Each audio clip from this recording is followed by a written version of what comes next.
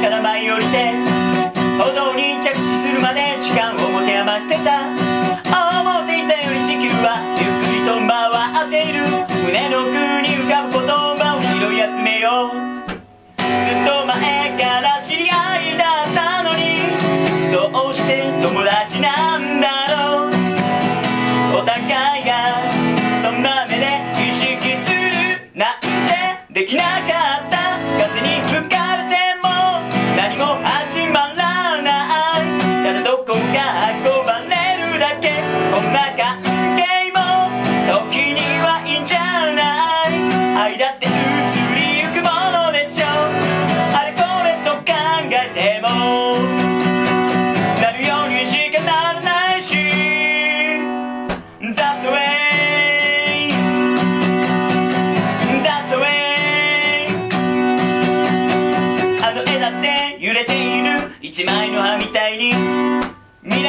君の気持ちは予想がつかなかった。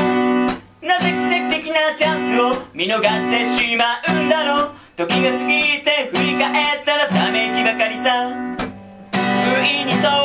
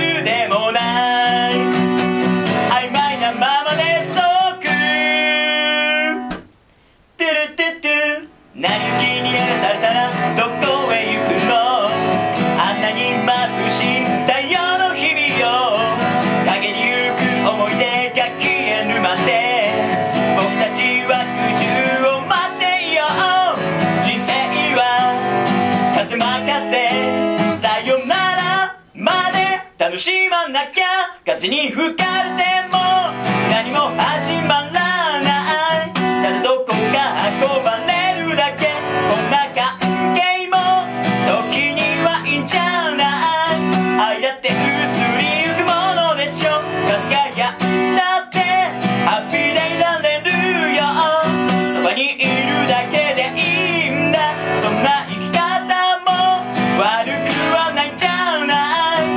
と従っ